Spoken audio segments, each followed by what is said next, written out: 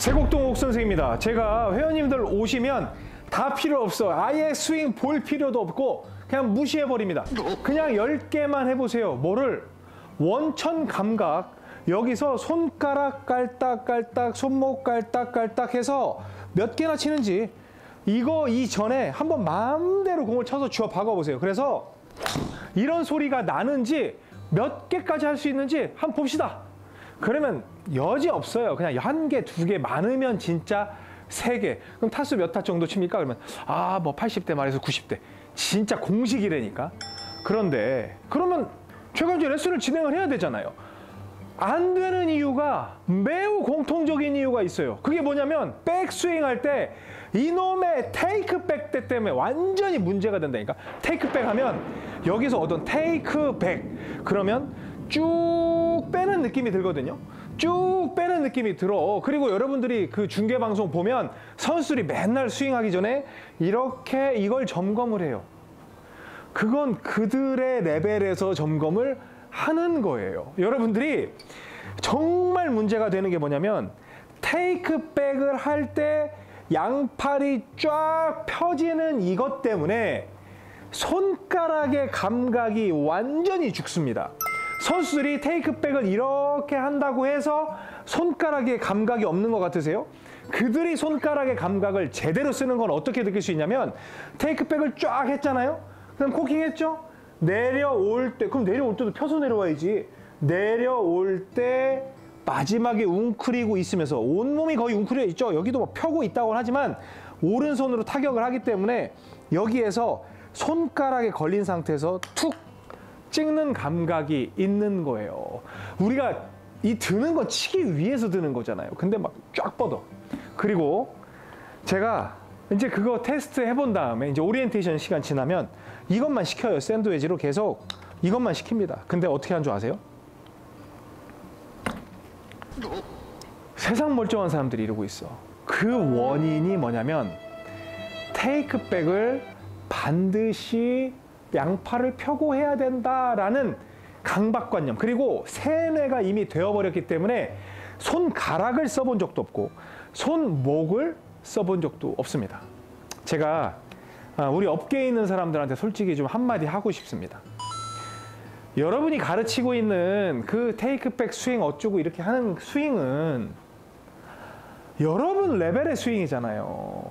우리 일반 골퍼 골프 시작한 지도 얼마 1, 2년밖에 안 된 분들이 여기서 이거 하고 있으면 안 되잖아. 왜? 우리가 공을 던질 때도 마찬가지예요.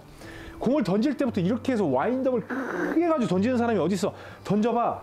그럼 이렇게 던지다가 더 세게 던져봐. 이렇게 던지겠지. 그러면서 계속 커지겠지.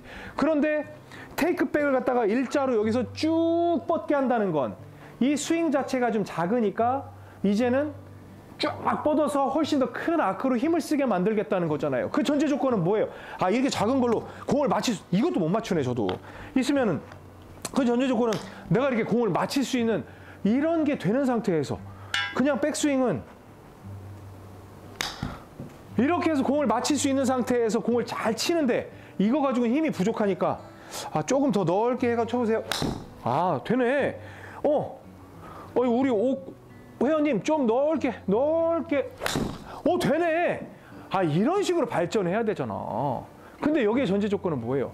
얘로 손목으로 할 수 있는 깔딱깔딱 할 수 있는 원천 본능이 있을 때. 그래서 옥 선생이 강조하는 거예요.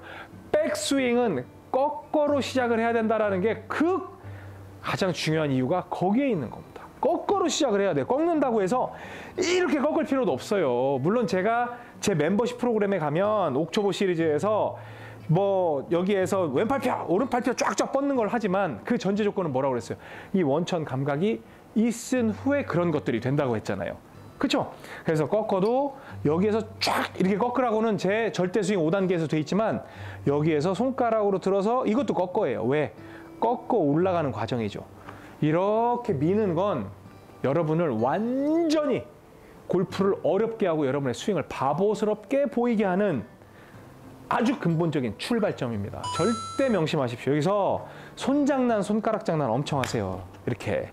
여기에서 손, 손장난, 손가락 장난 엄청 해보세요. 그냥 오늘도 나가서 이번 주말에 가가지고 손가락 계속 장난하는 거예요. 그리고 아이고 이거 갖고 너무 작다 그럼 좀 더 들어서 손장난 손가락 손장난 또 하고 가서 좀 더 들고 이렇게 해서 손가락 장난으로 계속 손목 장난하고 더 높게 들어서도 이렇게 해서 계속 찍을 수 있는 그 연습을 하게 되면 나중에 얘가 거의 무의식적으로 공을 건들 수 있는 습관이 생겨요. 그럼 그때부터는 내가 쫙 계속 뭐 이걸 하든 뭘 하든 딱 가서 딱 쳐도 공을 맞힐 수 있는 능력이 생긴다고. 근데 그게 안 해도 되는 거라고. 아셨어요? 제발 테이크백 할 때 이거 하지 마세요. 여기서 손목으로 살짝 깔다, 깔다. 요렇게 나중에 팔을 펴는 게 얼마나 무서운 건지 제가 또 레슨을 진행해 드릴 테니까 진짜 오늘은 이것만 명심하시고 하시기 바랍니다. 우리 선생들 본인 기준으로 가르치지 말고 회원 기준으로 맞춰서 가르칠 수 있는 좀 공부 좀 합시다. 골프용품은 옥스윙몰에서 좋아요, 구독은 덤